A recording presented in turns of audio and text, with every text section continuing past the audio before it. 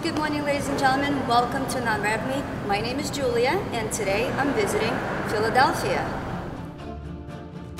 Philadelphia was simply Philly, the birth city and the former capital of the United States. City that has combined history, rich culture, museums, entertainment, great food, and amazing atmosphere. It is a perfect city to visit for a weekend, and more importantly, it is rather affordable. Don't believe me? A weekend in Philly. Here we go.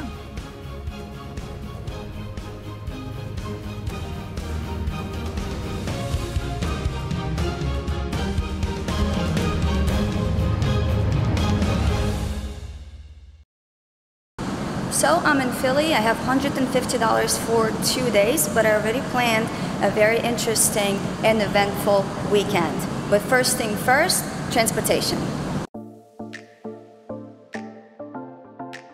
Philadelphia Airport is quite easy to navigate. There are a few ways to get from the airport to the center city. Number one, by taxi, which will cost approximately $30 plus tip. Number two, by Uber or Lyft, that will cost about $17 to $25. And of course, number three, by public transportation, which is much more budget-friendly way. The Center City train runs every half an hour and stops at each terminal. If you plan on using public transportation a lot, you might consider purchasing a $13 Independence Pass that will give you unlimited rides on any public transportation for an entire day. Um, well, today I'm not intending on using public transportation much, so I'm only going to be buying one ticket. Which is considered a quick trip and costs only $6.25. The quick trip ticket can be purchased from this kiosk.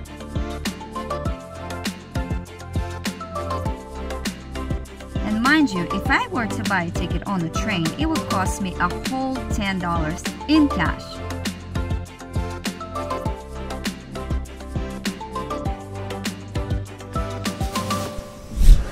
Get off at the suburban station because that's where my first point of interest is.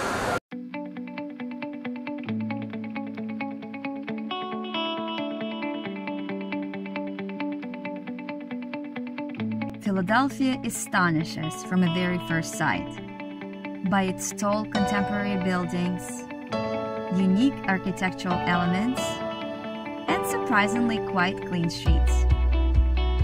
First thing I want to do is to see Philly from the top. And I picked the recently opened One Liberty observation deck that offers 360 degree view of the city at 900 feet above ground. The entrance fee is $15, but the ticket is valid for 48 hours, and you can revisit the observation deck as many times as you want, even in the evening to see a very beautiful sunset. The elevator takes you up to the top, and there. Wow. Oh my goodness. That is incredible. All the way up from the 57th floor of One Liberty, you can see all major landmarks of Philadelphia, from University City to Delaware River and across to New Jersey side. The 360 degree view is incredible. It makes you feel like a bird flying over the tall buildings and admiring this beautiful city.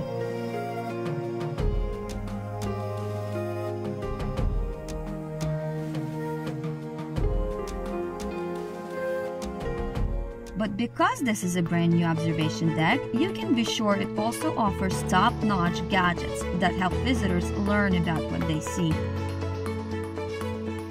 You don't only get to view the city, there are also interactive maps where by touching any point of interest on the map, you will get information such as name, events, and dates it was built. These interactive maps offer electronic sightseeing tours around Philadelphia. By touching different places of interest, visitors activate a pop-up information on five different languages about any particular location. And I already know what I'm gonna do next. Amazing attraction, incredible views. You can honestly see absolutely everything, even William Penn statue on top of the City Hall. Which you cannot see from the City Hall itself, obviously. After looking at Philadelphia from the top, I decided to explore the buildings and its historic sites up close. But before indulging in history of Philadelphia, I want to show you a couple more places that are located right by the observation deck.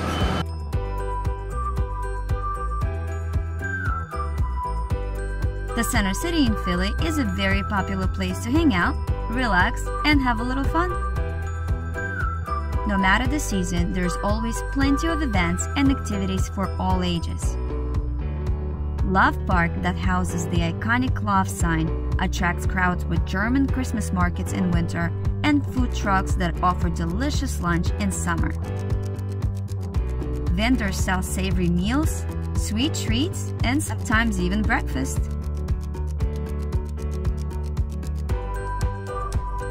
Wednesday, you can spot wedding ceremonies right under the love sign.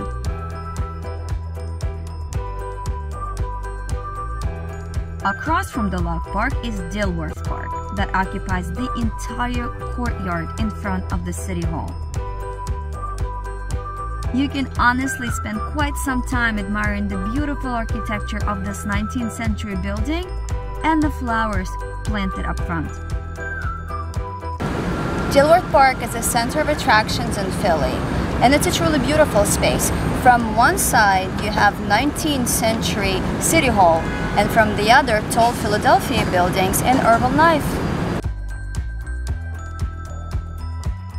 The fountains in front of the City Hall seem to attract not only children, but even grown men in suits. What are you gonna do if it's so hot?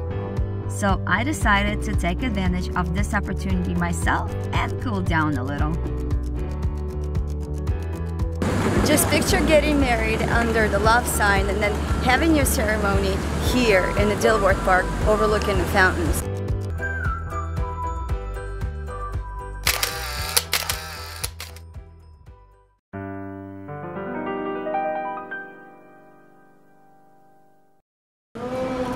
Think about lunch in Philly, you probably think cheesesteak. Yeah, absolutely. Cheesesteak is a must try while visiting Philly, and we will do it tomorrow. Um, right now, I will be taking you to Reading Terminal Market that still serves food from early 1900s.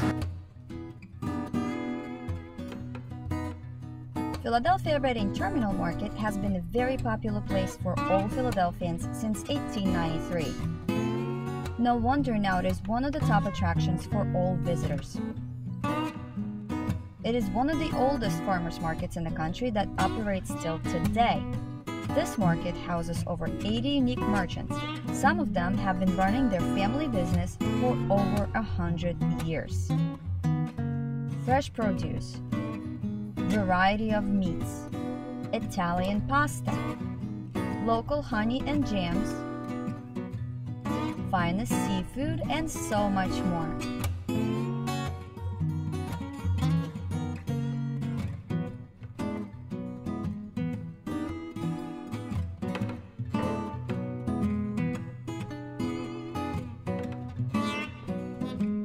Honestly, you can walk hours and hours in here buying, tasting, trying, touching. Really good place. The Reading Terminal Market is mostly famous for Termini Brothers Bakery and their outstanding cannolis and other Italian desserts. DiNic's, which according to the Travel Channel makes the America's best pork roast sandwich. Bassett's Ice Cream that has been in business for nearly 160 years. And the Spataro's Cheesesteaks, which still serves a cream cheese and olive sandwich from the original 1947 menu. Hi, can I get the um, olive, cream cheese and olive? No, just like a regional recipe, whatever. Yeah, yeah, yeah. And a bottle of water.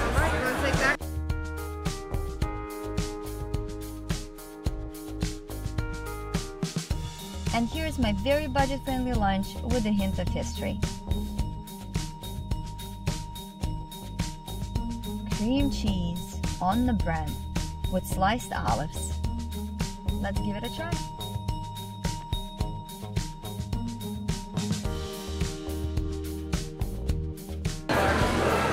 Hmm. Not bad. I really like the combo of cream cheese and olives, although I really don't like the olives, but the combo itself is pretty good. Tears in my eyes while I'm waiting, while I'm waiting for my turn. While I'm waiting, while I'm waiting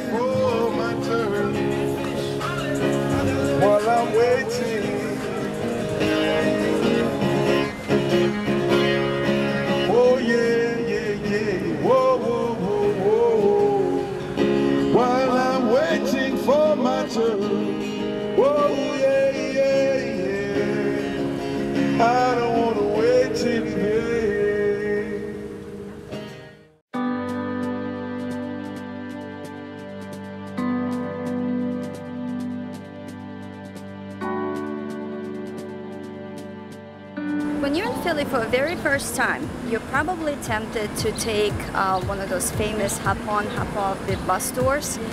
But honestly, if you want to save $35 on the ticket and you're traveling on the budget just like I am, uh, there are many more ways to see all the attractions in Philly and pay uh, much less than that. First of all, Philadelphia Public Transportation System SEPTA could be an ideal way to travel to all of the Philly attractions. The buses are very frequent, and if you did purchase an Independence Transportation Pass at the airport, all of your bus or train rides would be already included in the pass. There's also a flash bus that comes every 15 minutes and travels the exact route as the famous hop on, hop off bus without extra stops. But since uh, most attractions in Philadelphia are concentrated in downtown area or what is called Center City, I'm just gonna keep walking because it takes um, about 30 minutes to get from 15th Street Station all the way to the riverfront. And while I'm walking, I will take my time to enjoy the old, charming architecture and contemporary tall office buildings, 17th century red brick facades,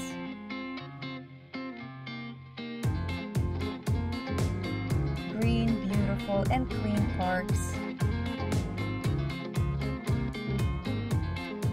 and at last Philadelphia's very creative approach to fixing streets.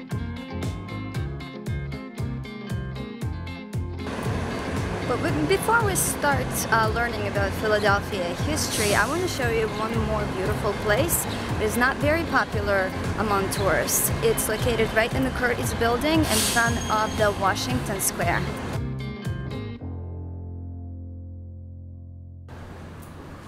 Dream Garden is not an actual garden. It's a ginormous mural that's installed inside the Curtis Building. The design of the Curtis building can leave anyone speechless. The architect decided to place a courtyard right inside the building. But the real star is this 15 feet high and 49 feet long masterpiece of public art that was almost bought for $9 million and moved to Vegas.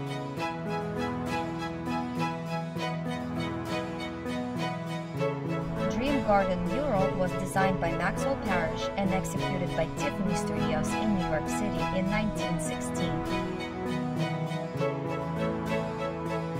Now anyone can come to the Curtis Building in Philadelphia and admire this piece of art absolutely free of charge.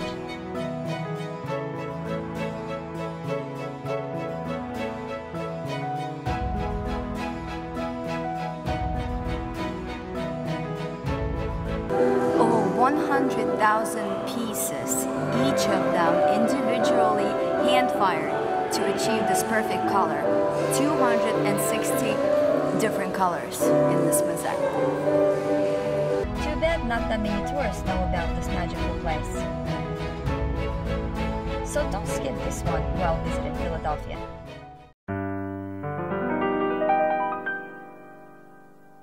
Well, now it's about time for a little bit of history. The 55 acre green area between Walnut Street, Race Street, 2nd and 6th is called the Independence National Historical Park. It is also known as Philadelphia Square Mile.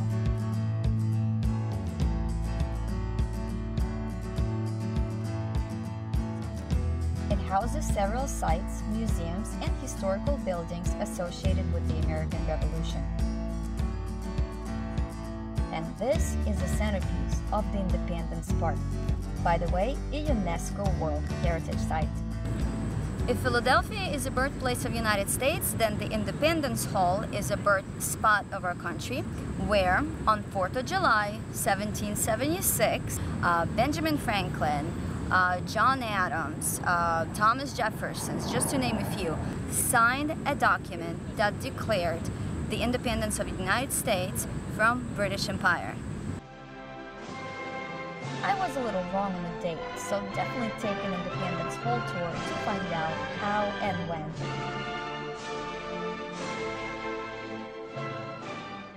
So thanks to those people, we can all enjoy barbecue on 4th of July. No, but seriously, uh, while visiting Philly, you're absolutely obligated to visit the Independence Hall. The entrance to the Independence Hall is completely free, but it does require a ticket if you visit it before 5 p.m. March through December. The tickets can be obtained at the visitor center. However, it has to be done early in the morning. Between 5 and 7, we do tours where no tickets are required. Okay. Well, I have about an hour to kill, so I am going to visit another attraction located right across from the Independence Hall. Really don't want to stand in line, but unfortunately I have to.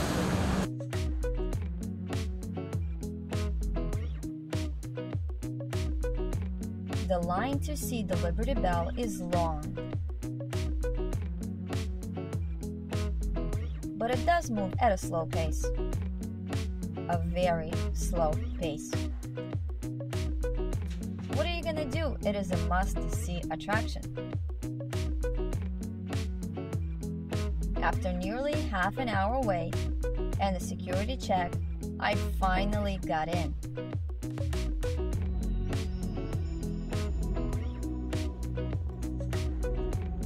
The hall that houses the bell is a small museum themed around liberty. It displays the word liberty in multiple languages. So here's a quick history about this iconic symbol of independence. The Liberty Bell was made in London and brought to Philadelphia in 1752 to be placed in the steeple of the Pennsylvania State House, now known as an Independence Hall.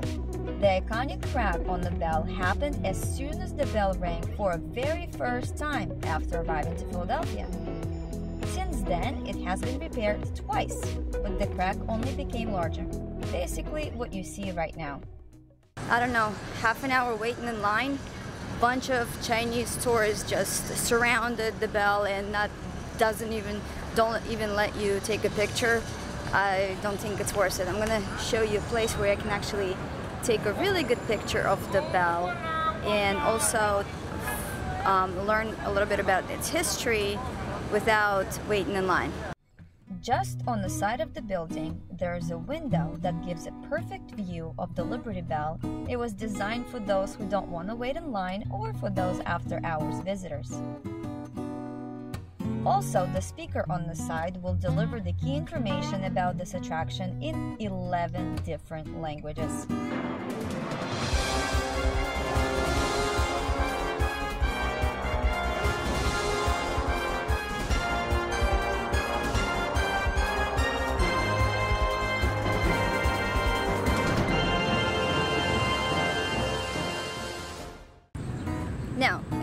Interesting trivia question. What attraction in Philadelphia is photographed the most? A. Independence Hall. B. Liberty Bell. C. City Hall. If you answered any of the above to this question, then you are wrong because the correct answer is D. The statue of Rocky Balboa. Go figure.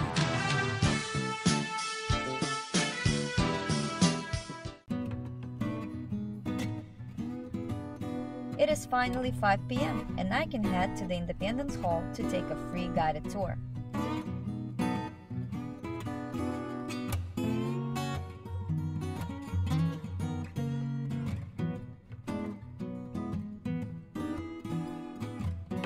The ranger briefly describes what we're going to see and leads the group to the building.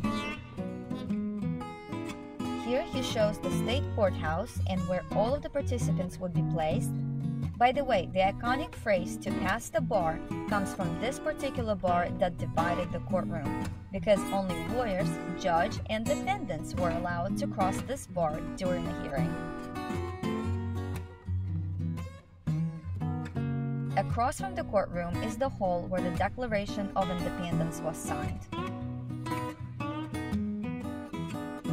All this furniture and chandelier and candle holders are original and have been there since the 18th century.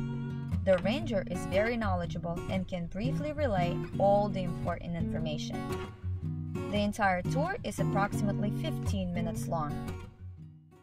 Nice little tour, very brief, just like I like it. Explains um, all the little key factors, all the details, everything um, in layman's terms, just like I love it.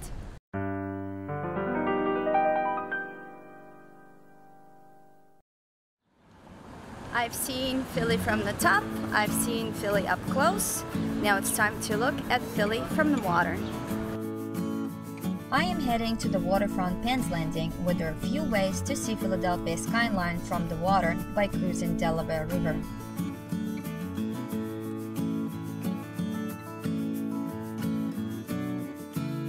And of course, I picked the cheapest one. Riverlink Ferry connects Philadelphia with Camden, New Jersey. Most people take ferry um, to travel to New Jersey to commute or to go to the aquarium, but honestly, being nine dollars a ticket for a round trip is like the cheapest way to see Philly from the water.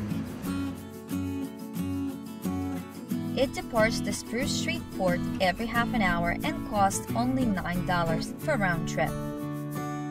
The boat has two floors, and you can either come inside or come outside and enjoy the sun. After everyone's on board, the ferry departs.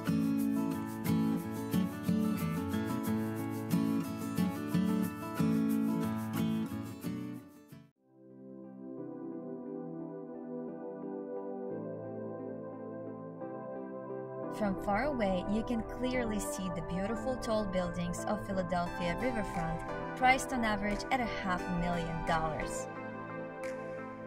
The smoky skyscrapers on the background, seasonal attractions and fairs, Penn's Landing and Benjamin Franklin Bridge.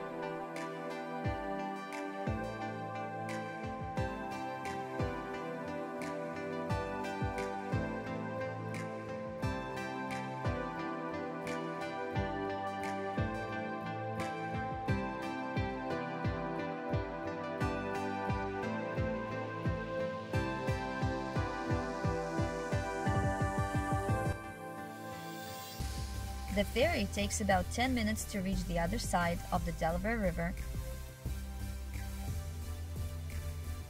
but it is just enough time to admire the Philadelphia skyline and take some very cool pictures for Instagram.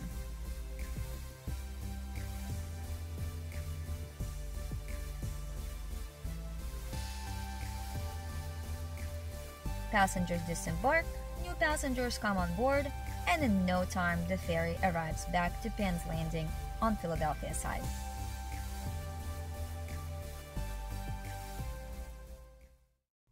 By the time I got back to Philly, it was already past 6 o'clock, which is closing time for all the museums and attractions and the beginning of the nightlife and entertainment. Spruce Harbor Park is one of the most popular afternoon hangout spots in Philly where anybody, any age, can find something to do.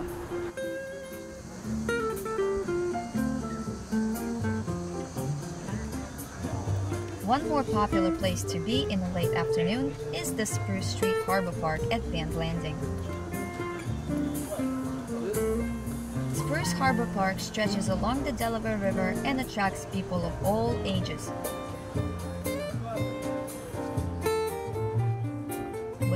Petal swans, riverfront restaurants, free hammocks and swings, and simply cool, laid back, and very family friendly atmosphere where adults and kids can play, eat, cool down by the fountains, and simply enjoy these nice summer nights.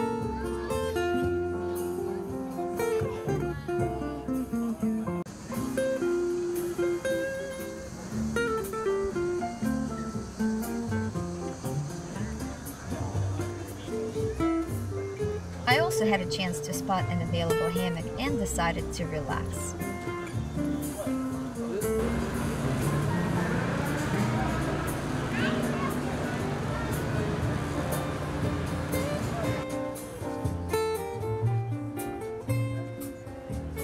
What can be better than spending a wonderful afternoon in a wonderful place? Maybe a glass of beer. And the beer they have. Right next to the Spruce Street Harbor Park, the Philadelphians can enjoy Summerfest at Blue Cross River Rink. Every summer, Blue Cross River Rink hold, uh, hosts what's called um, Summerfest, where you can hang out with friends, drink beer, go for rides, or roller skate, and the event is totally free. It is a festival that includes rides, craft beer, authentic food, and roller skating rink. Of course, you have to pay something to roller skate, but to be honest, I am not that good at it anyway. My target is the craft beer. The pavilion offers $7 selection of crafts. The food from Chickie's and Pete's, and of course games and entertainment for the entire family.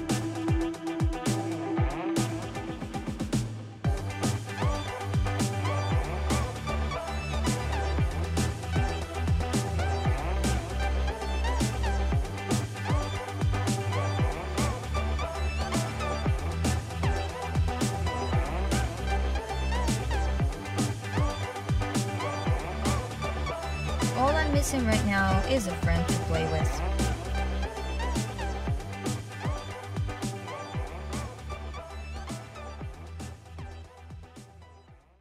Normally, right here in Penn's Landing, every Thursday there's a movie screening right on that screen. But today is a free jazz festival. Free events like that are happening in Philadelphia all the time. This is exactly why I always say you can find a lots of entertainment on a very tiny budget. You just need to know where to look.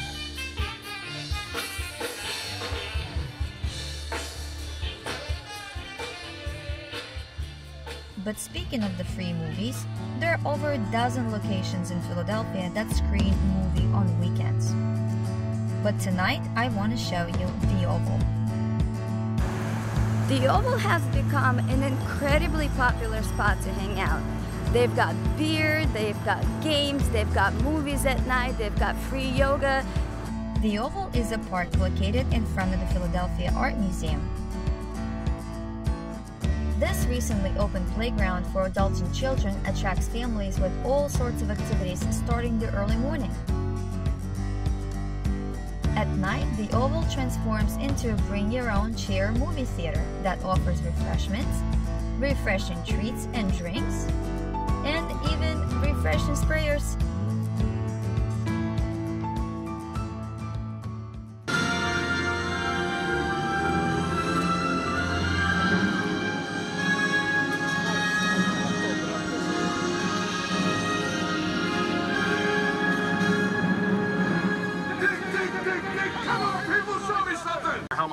Like son. What is that? Cheetah. Divided by the time of travel. You clowns want to play football, you gotta move. Hi, Danny. Hi. Hey, guys. Why are you doing it? All right, everyone from here over, go with Coach Butts. Everyone. And it doesn't even matter what movie you're watching. It's a comedy, it's animation, it's it's anything, it's whatever, it doesn't matter. It's being a part of the community, being a part of the city, enjoying something together with other people, sitting down on blankets, sitting down on grass, enjoying something, watching a movie together, just doing something together. This is a real city life. This is the feeling that you get. It's incredible.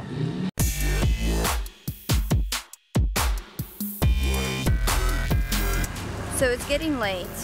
Right after the movie, I need to go and find a place to stay. Um, there are plenty of options in the center city. There are hostels, there are uh, rooms for rent that you can find on Airbnb for $30, $50, really, really cheap, uh, it was surprising. But I found a hostel um, that cost $22 a night. And the reason why it attracted me is because it's located in a um, historical building in Fairmount Park. The only downside, it's quite far. So I could take public transportation and then walk about a mile in Fairmount Park, but um, female, night, Philadelphia, Fairmount Park, about a mile walk. After weighing my options, I decided to take Uber. Plus, rideshare in the big cities work extremely well.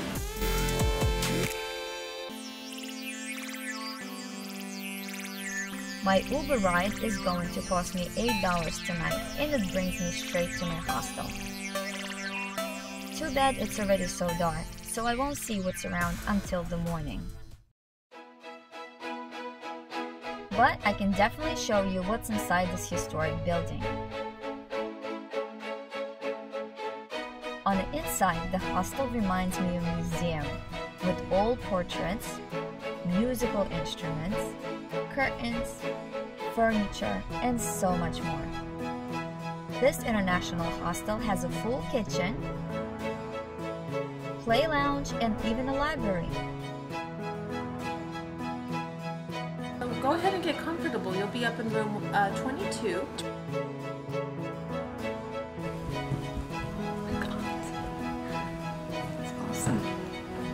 Male and female dorms are located in separate sides of the building, which is always a plus.